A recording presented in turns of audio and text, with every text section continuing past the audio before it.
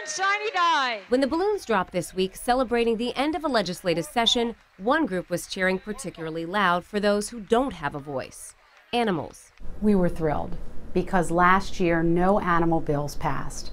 And so this session, we were thrilled to see so many of, of, the animal bills that were introduced actually did pass. In all, seven bills related to animal welfare are headed to the governor's desk.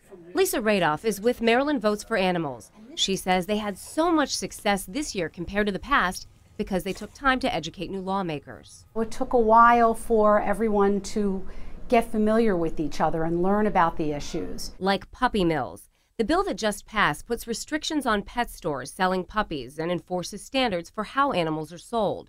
She says that bill and another that makes it a crime to possess equipment used in dogfighting are probably the biggest victories. And we're talking about electric shock cables for dogs that don't perform well in fights, um, weighted treadmills, um, and the kind of equipment um, stands for breeding dogs. House Bill 46 also passed, and advocates say that was a big one. That basically requires animal control facilities to scan strays for a microchip.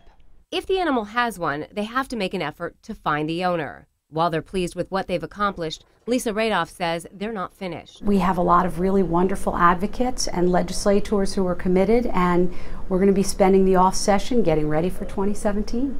Megan Pringle, WBAL TV 11 News. And for a look